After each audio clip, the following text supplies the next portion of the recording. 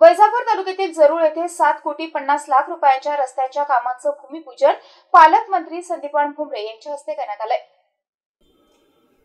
सार्वजनिक बांधकाम विभाग अंतर्गत मंजूर करून आणलेल्या चांडगाव ते जरूळ रस्ता दुरुस्तीसाठी चार कोटी रुपये निधी आणि जरूळ ते सातशे बावन्न एच हा रस्ता दुरुस्तीसाठी तीन कोटी पन्नास लाख रुपये निधी असे एकूण सात कोटी पन्नास लाख रुपये निधीच्या कामाचे भूमिपूजन आज जरूर येथे रोहिओ तथा पालकमंत्री संदीपान भुमरे यांच्या शुभ हस्ते आणि आमदार रमेश बोरनारे यांच्या अध्यक्षतेखाली संपन्न झाले. या कार्यक्रमास भाजप तालुका अध्यक्ष कल्याण दांगोडे शिवसेना तालुका प्रमुख राजेंद्र साळुंके यांच्यासह पदाधिकारी आणि ग्रामस्थांची प्रमुख उपस्थिती होती.